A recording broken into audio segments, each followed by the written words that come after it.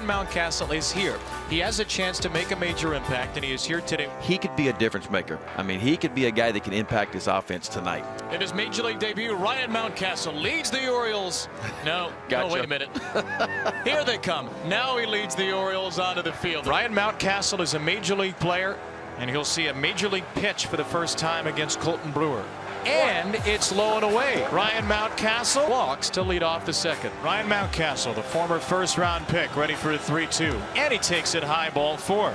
So the first hit will wait, but Ryan Mountcastle is on base twice with a couple of walks in his big league debut. Valaika the other way to right center field. That's well hit. Bradley to the wall, and it is off the top of the wall and gone make it three straight with a home run for Pat Valaika. Bogaerts drives one to center. Cedric Mullins. Terrific play by Mullins. A plus stuff from the Orioles man and center. Another bomb as Renato Nunez called them. This ball is tagged the other way and the hit streak is at 18 for Santander on his way and in at second with another extra base hit. His 11th double of the season and 22nd extra base hit to lead the major leagues. He will bring Santander to the plate, representing the tying run.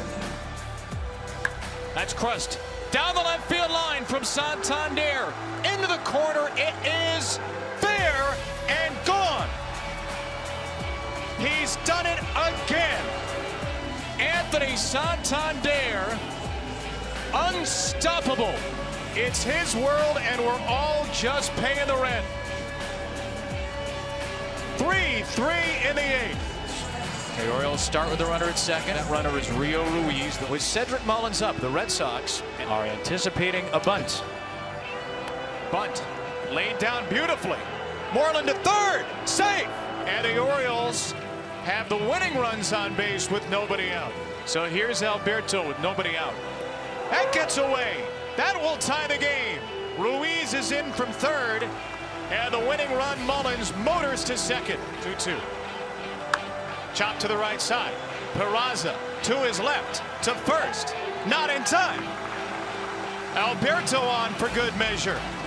Mullins to third. And the Orioles are 90 feet away. And the Red Sox are going to go five-man infield, two-man outfield for Pedro Severino. 2-2. In the air. That will do it.